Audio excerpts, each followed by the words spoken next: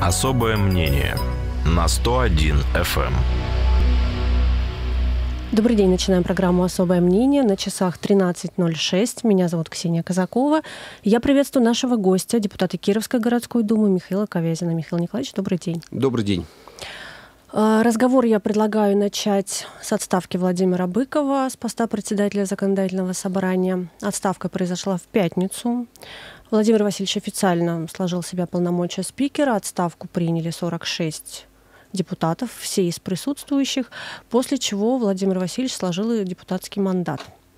Мы помним, что имя Владимира Быкова часто, достаточно часто фигурировало в показаниях свидетелей по делу Парка Победы. Мы помним, что по информации некоторых СМИ фигура, похожая на Владимира Быкова, упоминалась а, в деле электронного проездного, где фигурантами являются экс-депутат городской думы Дмитрий Никулин, бывший начальник а, городского управления благоустройства и транспорта Олег Чичибайпин и экс-директор АТП Николай Дубровин. Вот уход Быкова из а, законодательной власти – это такая попытка защитить его или, может быть, а, и вывести из-под удара, или это все-таки ослабление его позиции, чтобы облегчить работу следственным органам? Ну, я думаю, что здесь, э, наверное, выскажу свою точку зрения, э, что все-таки же в первую очередь это вопрос а, вывести из-под удара партию «Единая Россия», которую он на текущий момент пока возглавлял, точнее, сейчас уже нет, но э, номинальности там в начале ноября, так понимаю, это формально пройдут, вот, но потому что через два года э, очередные выборы, вот, и ситуация вокруг Быкова складывается таким образом, что в первую очередь удар не только по нему, но и по партии, поэтому я думаю, что здесь это сыграло основную роль, вот, хотя при этом, безусловно, все остальные факторы Э, и в том числе уголовные дела вокруг него имеют место быть, но вряд ли кто-то заботился там сделать ему лучше или э, там лучше или наоборот хуже. То есть это в большей степени я считаю, что вокруг э, той политической силы, которая сейчас есть, и они страхуют себя, потому что дальше сейчас что будет происходить с Владимиром Быковым, это уже формально и номинально вроде бы уже не не связано с партией, потому что он уже не депутат, он уже не спикер. Останется ли он в рядах партии, тоже там вопрос, наверное. Поэтому я считаю, что в первую очередь вот этот фактор. Вот, потому что мы, я, безусловно, э, мы все знаем истории, когда Следственному комитету не мешало э, проводить те или иные действия, там, в том числе на и действующих э, руководителей там, и регионов в том числе. Поэтому этот фактор не является ключевым, повторюсь, там, но он тоже имеет место быть. Если это возможность вывести из-под удара Единую Россию, то почему тогда просто бы не сдать полномочия с секретаря? Ну, все равно он сейчас... Э, Зачем был... тогда было уходить из ЗАГС Собрания? Ну, в ЗАГС Собрания-то он тоже был как представитель партии «Единая Россия». Безусловно, он мог бы быть уже не лидером, но репутационно, ну, уверяю вас, там, Э, на мой взгляд, это являлось вот как бы достаточно э, с точки зрения политики там с логичным решением, как бы вот, и убрав его, сейчас там, наверное, события пойдут быстрее где-то, где-то проще, но еще раз говорю, там, я считаю, что э, просто если следствие, э, следственный комитет начал бы ситуацию раскручивать вокруг Быкова, э, будучи, когда он был бы главой э, испол... э, Единой России и главой ЗАГС Собрания, это им бы не помешало, но это точно повлияло бы совершенно в другом формате на репутацию партии. А мандат зачем было сдавать? Ну, все из этой же серии. Ну, то есть, как бы просто сейчас... Ну, вот из ситуации Нет, ну, можно с же было остаться просто рядовым депутатом. Ну, это же все равно он был рядовым депутатом, который прошел в, э, в законодательное собрание по спискам Единой России. Ну, то есть, как бы вот он все равно бы был там. Вот. Поэтому вот для того, чтобы полностью мы же все понимаем, что нет никакого другого места там работы, про которое говорят. Но что если бы оно было бы, э, то и о нем бы говорили, там, если это не а, особо секретный случай. Поэтому здесь, мне кажется, это все-таки же фактор в этом состоит, потому что ситуация там с Никулин была примерно точно такая же. То есть как бы его э, там, э, там ситуация по нему, она тоже э, там связана была с Единой Россией, поэтому как бы она в той или иной мере, безусловно, репутационно складывалось не в пользу этой партии. Вот, поэтому здесь я считаю, что это, на мой, повторюсь, это мое мнение, там, как э, гражданина, как э, депутата, вот именно в первую очередь в этом. А все остальные факторы, безусловно, сыграли. И, и петиции сыграли, и э, ситуацию там по уголовным делам, которая все чаще чаще звучала ее фамилия, это, безусловно, все было важным фактором одно без другого бы не получилось. Но если бы не выборы через два года, я думаю, что этот вопрос, возможно, развивался бы по-другому. Если бы выборы были через год, то эта ситуация произошла бы, возможно, еще раньше. Но вы говорите, вот э, через два года выборы ситуация могла бы развиваться по-другому. Но когда летом, э, и вы в том числе в этой студии говорили, когда шли процессы по делу Парка Победы, говорили о том, что Владимиру Быкову следует э, прервать молчание, потому что он эту ситуацию никак не комментировал, хранил молчание, в общем-то ничего так по этому поводу не сказал. Если бы он это молчание прервал, могли бы мы предположить, чтобы ситуация развивалась в другом направлении и имела другой исход?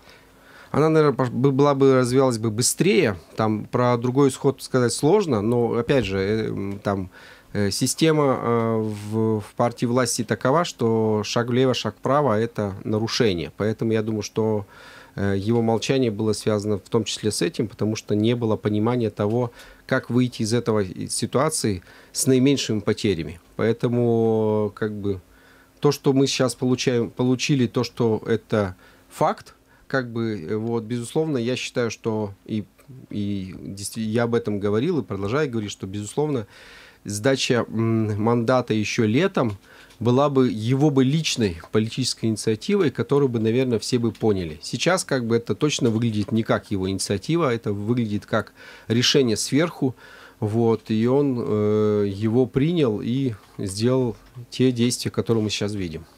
Вот вы сказали, что петиция в какой-то мере, может быть, повлекла за собой эту отставку. А в какой мере? То есть стала ли она катализатором, стала ли она той последней каплей? Ну, э, сейчас сложно судить, сейчас из, из нашей студии там и говорить, в какой мере, там, в какой доле. Я просто слежу Точно... по данным мониторинга. Я тут посмотрела да. и приведу вам сейчас эти данные, озвучу.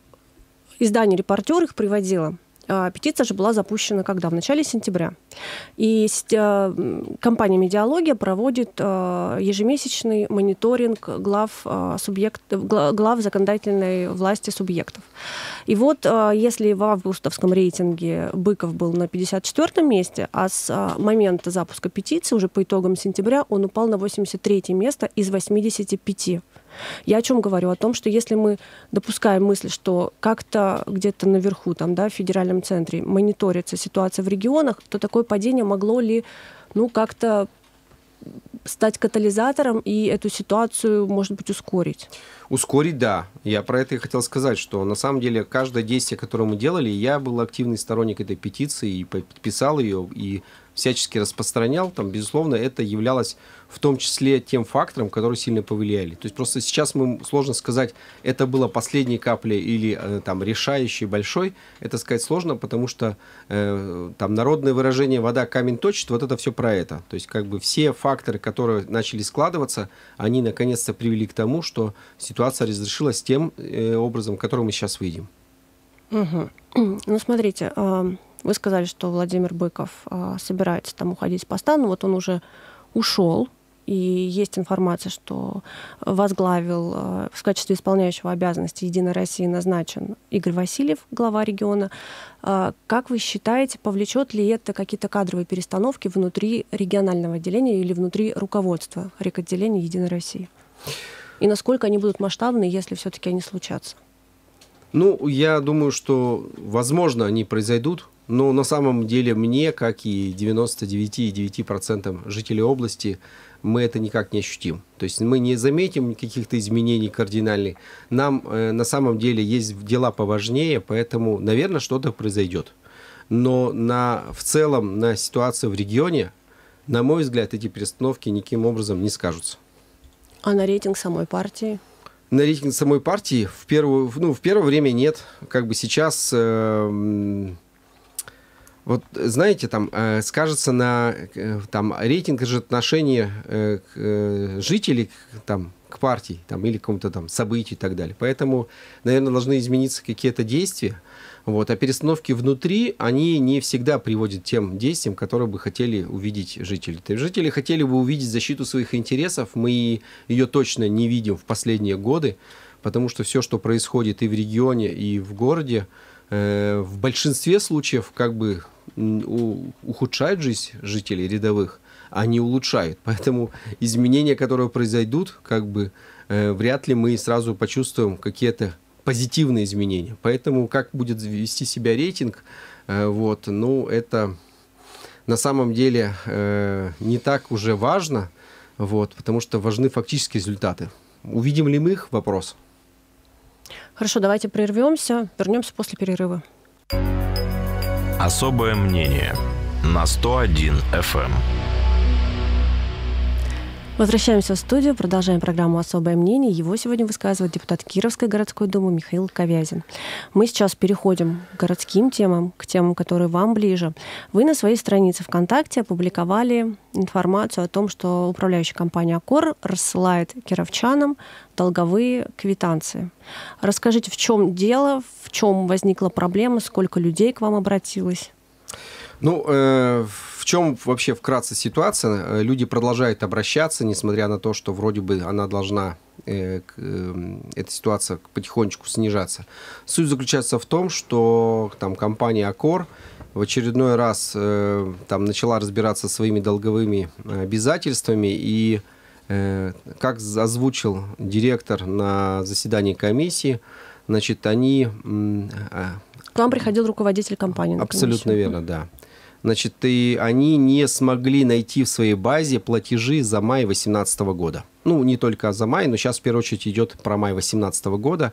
Вот, а и... эта компания в мае 2018 года, она существовала или там была какая-то история с переходом? Там история какая? Значит, э, в апреле 2018 года, значит, основным получателем платежей у компании «Акор», там старое название, это УК Октябрьского района города Кирова, осуществлял РКЦ, Значит, в мае они ушли в свою ООО, значит, и вот в этот процесс перехода майские платежи потерялись, ну, назовем это так. Они, безусловно, жители заплатили, они точно дошли до адресата, до компании «Аккор», вот, но... Э, Платить они должны были уже в новую управляющую компанию в мае. Нет, э, значит, давайте еще раз. Э, с апре... В апреле была компания «Аккор», в мае была компания «Аккор». Просто управляющая компания по закону может собирать платежи через какую-то специализированную угу. организацию. Вот. Ну, э, в апреле это была РКЦ, значит, в мае они решили свою. Угу. Значит, под причиной того, на квитанциях они об этом указали, они поменяли лицевые счета по причине того, чтобы снизить комиссию. А свою это своя организация, своя, которая есть, принимает ну, платежи. назовем так, карманная, да, ООшка, угу. там на базе Акора. Значит, но э, что произошло дальше? Жители заплатили, там, безусловно, жители заплатили, повторюсь, в мае 2018 года, не 2019, в мае 2018 года. Но в Акоре происходит сейчас череда смена собственников, она уже там э, произошла в том числе вот э, в 2019 году, смена директоров и новые собственники, новый директорский состав э, не нашел эти данные, вот в этот майские платежи. И вместо того, чтобы разобраться с э, вот с этой фирмой ООО, там, которая, возможно, сейчас уже не существует, там, разобраться с предыдущими там э, владельцами, с предыдущим руководством, в том числе в суде судебном порядке, они решили, что, наверное, люди э, заплатят еще раз. Повторюсь, там ситуация, э, почему это было однозначно видно, потому что э, дома рассылались не просто по ряду квартир, это была стопроцентная рассылка. Стопроцентная рассылка всем, всем домам, дома. которые входят в, в эту управляющую компанию. Да, входили в тот момент угу. времени, потому что на самом деле э, большинство э, домов все-таки же ушли от этой управляющей компании, потому что, ну, мы этому сейчас говорить не будем про вопрос формата их управления. Но, э, значит, они выставили квитанции, причем э, ситуация была достаточно с, э, странная, потому что в квитанции не указан был ни срок возникновения задолженности, что было бы логично. Вот. При этом было указано 10-дневный срок до подачи э, в суд. И, к сожалению, говорю, к сожалению, часть людей преклонного возраста, э, несмотря на то, что были убеждены, что они все заплатили, они пошли и заплатили второй раз. И вот это самое как бы э, печальное в, в этой ситуации, потому что сейчас, чтобы получить эти платежи, никто им просто так не вернем, несмотря на то, что мы э, там на комиссии, глава администрации попросил все-таки же э, с этой ситуацией разобраться, но мы понимаем, что если человек пришел, заплатил, а пенсионеры, как платят, наличными средствами, они заплатили, вернуть им эти деньги не представляется просто возможным в одностороннем порядке, потому что они платили не с карты, они платили наличными деньгами. Сейчас такие жильцы вынуждены обращаться в прокуратуру. У меня уже есть несколько обращений уже именно из, от тех, кто заплатил, мы, безусловно, пойдем в прокуратуру для того, чтобы все-таки же, в, э, ч, там, в том числе, если необходимо, будем выходить в суд, добиваться возврата платежей. Проблема состоит в том, что Аккор находится в предбанкротном, ну, по сути дела, уже практически банкротном состоянии, и добиться через суд, ну, это будет крайне-крайне сложно, если, опять же, э, здравый смысл не возобладает, и мы ситуацию не решим каким-то образом.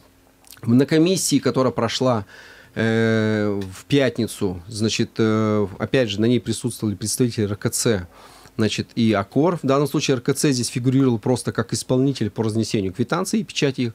Вот, я просил, э, значит, приостановить процесс разноски, но за выходные дни мне поступило еще несколько обращений от других домов, следовательно, разноска квитанций в городе продолжается. Значит, из хорошего ряд банков уже прекратили прием платежей значит, по этой квитанции, то есть они их отправляют обратно. Значит, информация, которую разместила РКЦ о том, что э, отправка в, в суд приостановлена и пока не разбирается, но тем не менее проблема остается такой, потому что сейчас там на один из запросов э, в РКЦ, откуда возник долг, пришел ответ о том, что приходите к нам и разбирайтесь. То есть, следовательно, э, там опять же это вот эти очереди, которые мы видели Очереди, да, потому по что жителям придется доказывать то, что они не платили, и, к сожалению, ситуация вот, ну, она э, таковая, какая есть. Почему так произошло, еще раз говорю, к сожалению, в первую очередь это э, незащищенность э, социальных слоев населения, потому что только ко мне Хотя я не считаю, что только ко мне обращались. Только ко мне на сегодняшний день обратились уже более 30 домов. Скоро это будет уже 40 домов, то есть еще немножко. И вот как бы карта города, она все время расширяется. Я вижу, как ходят почтальоны. То есть они начали с прошлого понедельника и по-прежнему пока ходят. Надеюсь, их все-таки в скором времени приостановят разноску этих квитанций. Вот. Большинство людей, скажем так, 90% просто эти квитанции не оплатили, но вызвал достаточно большой резонанс. Но часть людей, как бы, у кого особо льготы, значит, они оплатили. Значит, на комиссии мы обсудили вопрос, и РКЦ это подтверждает, представитель РКЦ, что льгот это не коснется, то есть, следовательно, нужно действительно разобраться, но вот э, очень важный момент, э, если взять, э, скажем так, пенсионерку 75-80 лет, для того, чтобы съездить ей в РКЦ, ей нужно заплатить э, проехать на авто, общественном транспорте, пускай даже с льготами там, за 17 рублей туда и обратно. То есть ей нужно заплатить еще свои деньги, чтобы с этой ситуацией разобраться. Можно разобраться по электронной почте, которой у нее нет, и можно оставить как есть. И если Аккор выполнит свои обещания, что слабо верится с учетом того, что сейчас происходит, то ситуация может просто разрешиться к тому, что эти квитанции могут остаться как сувенир. Но, э, к сожалению, вот я на самом деле ситуацию хочу быть глубже. Там. Это говорит о том, что сейчас любая управляющая компания, к сожалению, которая может идти по такому же пути, она может выставить квитанции, и ни у кого даже в голову не возникнет э, задуматься и проверить, и разослать жителям для того, чтобы на, напоследок, знаете, перед последним издыханием собрать еще квитанции, опять же, по первую очередь, с, с людей, предпенсионного и пенсионного возраста, потому что эти люди, когда им задал вопрос, зачем вы заплатили, они говорят, ну как так, я же вот увидела слово, что задолженность, я пошла заплатить. Я говорю, вы плати... Э, у вас есть задолженность? Я точно знаю, нет, вот у меня квитанции.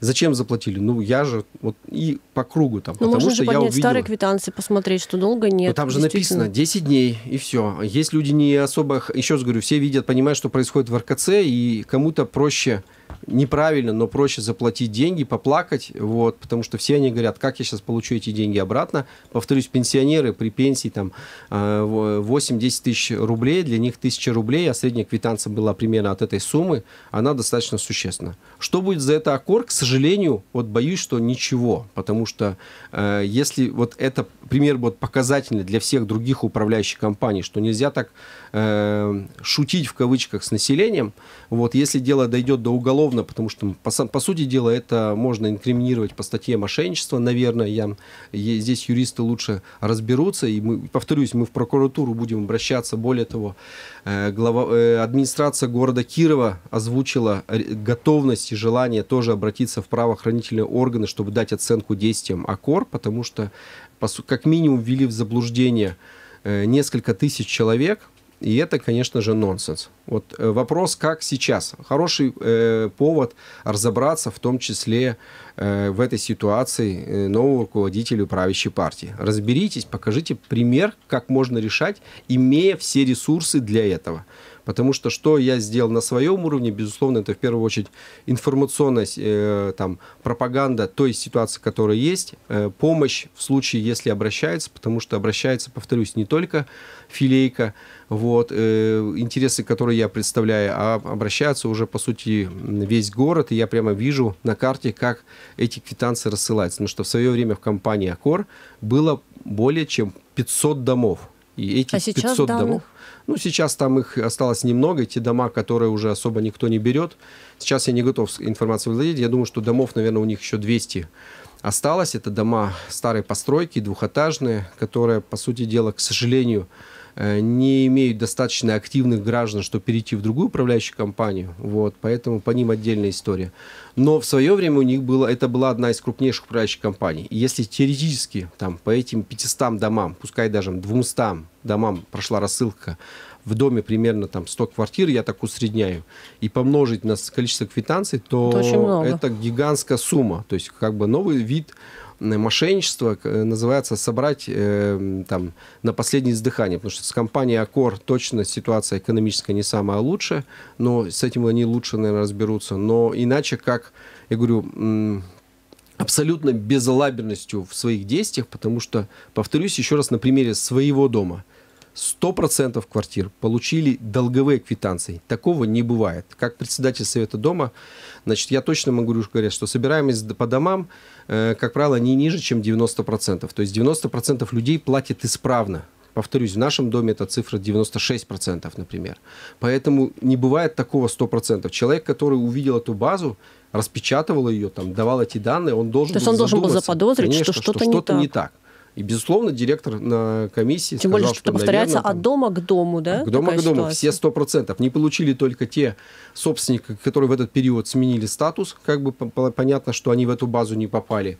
Вот. Ну и еще по каким-то другим, может быть, причинам, но обращения идут массово. Просто они не могли быть еще бы больше, но все-таки же часть людей понимает э, нелогичность этих квитанций, они их просто выкинули и, в принципе, ждут, с, когда их вызовут в суд, чтобы защитить свои права. Потому что на самом деле э, у всех жителей, говорю, там по закону три года надо действительно квитанции хранить, потому что срок исковой давности.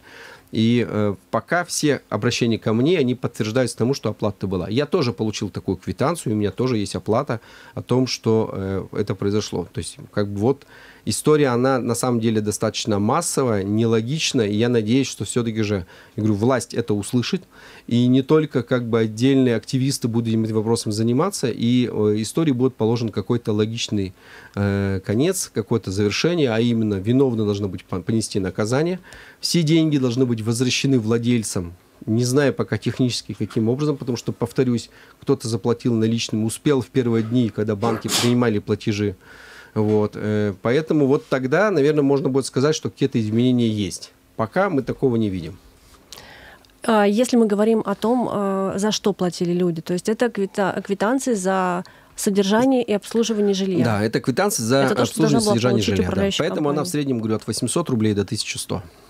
Кроме, э, как по суду, есть ли еще варианты вернуть эти деньги? Потому что мы понимаем, что, наверное, в суд пойдут, ну, наверное, не все. Ну, я говорю, там проблема состоит в том, что у компании Аккор не совсем э, хорошая ситуация экономическая, поэтому если их признают, а их там уже, насколько я знаю, признали банкротами, там сейчас идет э, э, все эти процедуры, то, следовательно, встаешь в общую конкурсную массу, то есть достанешься ли ты При условии, деньги. что у него будет какое-то имущество. Это, знаете, с МММ напоминает. Вот как бы вот формально ты, тебе могут деньги отдать если денег хватит. Вопрос, хватит ли денег, вопрос, потому что многомиллионные долги, как бы, ну, не от хорошего, еще раз говорю, это же сделано было в том числе, чтобы покрыть какие-то другие свои убытки. Поэтому э, получат ли деньги вопрос через суд вопрос. Значит, если же, говорю, э, опять же, подключится здравый смысл, том числе текущих э, управленцев там, компании Акор, то, безусловно, они должны эти деньги вернуть. вернуть. Для, у них есть, правда, там, единственное данные, это данные плательщика, но, повторюсь, там, если он заплатил я наличным путем, э, каким образом мне вернуть деньги без меня, вот, то я пока технически этой стороны не вижу. Мне нужно уведомить, чтобы я пришел, эти деньги получил. Поэтому ситуация точно э, хороший вызов для власти.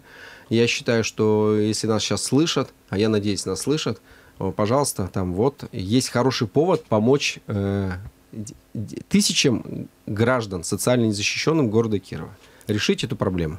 Михаил Николаевич, давайте на рекламу прервемся, вернемся после нее, продолжим еще немного про долговые квитанции ОКОР и поговорим про рейтинг управляющей компании. Особое мнение на 101 FM. Возвращаемся в студию, продолжаем особое мнение. Его сегодня высказывает Михаил Ковязин, депутат городской думы города Кирова. В перерыве Михаил Николаевич сказал, что на заседании комиссии сити-менеджер Илья Шульгин дал распоряжение директору управляющей компании «Аккор» все вернуть, да? Ну, как, как, я, как, ну, как это будет реализовано? Потому что распоряжение, ну, «Аккор» — это юридическая фирма. Угу, там, по желанию.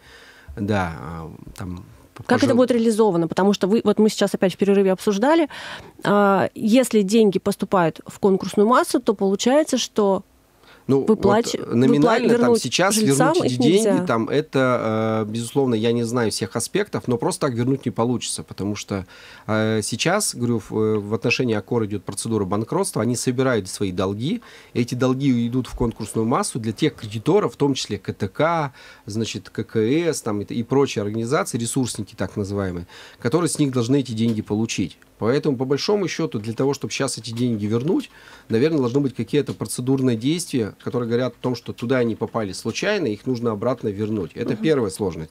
Вторая сложность э, это для того, чтобы найти тех людей, которые эти деньги заплатили, потому что по моим обращениям люди платили наличными средствами. У них есть подтверждающие документы, но их просто так не найти. То есть они должны куда-то прийти, им эти деньги нужно как-то выдать. То есть в идеале... То есть просто если... в РКЦ, например, прийти не получится. Ну, РКЦ да? это просто э, организация, которая осуществляет, там, по сути, начисление, угу. там, ну, то есть она обслуживающая организация при ресурсниках, при угу. там, управляющей компании, она деньги к себе не аккумулирует. компанию тоже не прийти. Ну, вот если бы с Акором было бы все хорошо, можно было прийти в управляющую компанию, написать заявление, эти деньги тебе вернут. Ну, то же самое, что если я случайно бы, допустим, заплатил два раза по одной и той же квитанции, Теоретически такое возможно. То есть, если я бы первый раз там заплатил, а второй раз просто сделал бы перевод по реквизитам. Такое может быть. То я прихожу в управляющую компанию, если это нормальная управляющая компания или это ТСЖ, там, да, я пишу заявление, что не зачислены средства дважды, смотрят по бухгалтерии, мне эти деньги возвращают. Возможно это? Возможно. Это самый простой путь. Проблема усложняется в том, что, говорю, Аккор готов ли по-доброму это вернуть, и, во-вторых, их процедурное действие с точки зрения банкротства позволит ли это сделать. Поэтому сейчас очень важно, э, я еще раз говорю, там мнение э, органов власти по этой ситуации, позиции по отношению к Акорам, потому что в том числе зависит много что от него. Если они готовы вернуть, я думаю, что речь уже идет о сотнях, если не о тысячах вот этих поступлений, которых быть не должно, то э, тогда эта ситуация, наверное, может разрешиться хотя бы каким-то более-менее там, хорошим, если так можно говорить, в этой ситуации путем. Если же нет, то количество обманутых компаний, как бы в том числе там просто так банкротами не становится, их еще увеличится вот на, к сожалению, на это количество людей, которые по закону должны получить свои деньги обратно, но по факту, еще раз говорю, там, мы помним историю там и с МММ, и с компаниями, которые продавали сахар там по цене ниже себестоимости, там эти финансовые пирамиды, которые сейчас как бы распались как мыльный пузырь, то есть поэтому там, они встанут в общую массу, и э, я там, говорю, юридически не совсем грамотно могу точно сказать э, процедуру возврата денег, но путь точно непростой, если Аккор, повторюсь, под нажимом э, тех или иных структур, все же не сделать шаг навстречу. То есть они для этого должны сказать, приходите, мы деньги вернем, несите квитанции, квитанцию, там, если уж это важно, там, майскую 2018 года, квитанцию, которую сейчас оплатили, мы вам будем деньги вернуть. Я этой информации у них не видел ни на сайте, ни, э, не было это озвучено ни к комиссии в Думе, поэтому ни в прессе я этого не видел. Поступит ли так компания Кор? Вопрос. Вопрос, я говорю, останутся они безнаказаны по этой ситуации, потому что ситуация как бы о том, что что-то потерялось и так далее, это вопрос, ну, потеряться может все что угодно. То есть представьте сейчас, что что-то потеряется у э, компании там КТК, это просто как пример, и они заново выставят нам квитанции Э, там, за декабрь прошлого года всему городу Кирову. И вот что в этом случае, как, как мы будем говорить про, про эту компанию? Вот я считаю, что компания Акор просто повезло тем домам, которые у нее на тот момент не, не, не находились в управлении, но, к сожалению, еще раз говорю, это в, э, в свое время там слово управляющей компании Октябрьского района, то есть это одна из э, крупных управляющих компаний, там, которые в свое время были когда-то муниципальными, но сейчас история не про это, а потом благодаря, опять же, политики власти, они стали э, ООшками, и в них было сотни домов, сотни домов, которые сейчас, к сожалению, вот, э, оказались пострадавшими, особенно, говорю, в первую очередь, незащищенная э, социальная группа – это пенсионеры. Давайте мы резюмируем вот касаемо этой ситуации. Значит, в управляющую компанию людям идти не стоит, в РКЦ идти не стоит. Единственный шанс вернуть деньги – это обращение в суд. Да, ну, в, в управляющей компании... Это те, кто оплатил. Те, да. кто не оплатил, оплачивать не нужно. Те, кто... Ну, и давайте еще раз тогда, да, порядок действий. Те, кто не оплатил, оплачивать не нужно. Значит, вы можете э, по информации э, из РКЦ, вы можете им по электронной почте выслать подтверждающие документы за май э, для того, чтобы... За май 18 года. года угу. Для того, чтобы просто для себя успокоиться. Если хотите добиться э, правды, там э, вы можете просто ничего не делать и посмотрим, как развитие событий будет происходить, потому что на самом деле, э, там, если вы платили, то вы платили. Там, задача других доказать, что вы не платили. Значит, к сожалению, ситуация для тех, кто не заплатил. Вот. Безусловно, вы можете прийти в управляющую компанию, э, а, значит, Аккор написать заявление с требованием возврата денег. То есть в данном случае в Но шанс этот РКЦ вы можете тоже написать, и они им передадут, потому что, еще раз говорю, РКЦ, как поставщик э, квитанции, они тоже примут заявление. Можете прийти в АКОР. Но, на мой взгляд, э, более эффективный способ э, параллельно с этим, это все-таки же обращение в, заявление в прокуратуру, значит, для того, чтобы признать эти действия незаконными, значит, или же все-таки же за счет того, что это носит массовый характер, решение со, со стороны властей будет достаточно жестким, быстрым, и управляющая компания АКОР сама предложит по той или иной схеме эти деньги вернуть. Вы как депутат готовы какую-то помощь предложить? Конечно. То есть я повторюсь еще раз, там мы информационное обеспечение раз, во-вторых, все за... обращения по заявлению в прокуратуру мы, безусловно, э, помогаем готовить. Я буду тоже обращаться там для того, чтобы просто, ну, в первую очередь восторжалась справедливость. Поэтому ВКонтакте пишите, я всегда готов помочь. Вот. Но, пользуясь случаем, еще раз, э, подсказка власти э, для вас это хороший повод показать, на чьей вы стороне. Угу. Давайте еще про... Так, перед тем, как перейти к рейтингу управляющей компании, еще один вопрос. Сколько времени у жителей есть на подачу заявления в суд? Это какой-то ограниченный по времени срок? Или здесь они могут там... Ну, сейчас нет, там срок исковой давности там истекает 3-3 года, то есть на самом деле время есть. Просто, опять же, мы здесь говорим о том, что в реалиях этого времени э, будет ли работать и существовать компания Аккор в 2020 году, большой вопрос. То есть, как бы, условно говоря, если не будет лица, кому высказываться претензии, ну, просто потому что уже сейчас количество дол... Проблема, еще раз говорю, в том, что объем долгов у компании Аккор в несколько там раз, порядок раз там превышает ее активы. То есть долгов много, платить нечем. И это история из этой серии. Там, когда, я говорю, решили, э, раз вы, выскочила такая ситуация, повторюсь, техническая, наверное, ошибка была, они, надеюсь, это не злой умысел, вот, но решили так собрать деньги. Поэтому время у нас есть, э, с одной стороны, но с другой стороны, чем быстрее мы это сделаем, тем больше шансов, что все-таки ситуация не выйдет из-под контроля и будет с кого взыскивать. Михаил Николаевич, минута у нас остается до конца. Буквально там в нескольких словах, э, существует ли в Кировской области рейтинг управляющей компании? Потому что если там будут люди уходить от того же Акора, куда им идти, куда посмотреть, вообще э, провести какую-то аналитику и выбрать правильную, хорошую, грамотную управляющую компанию?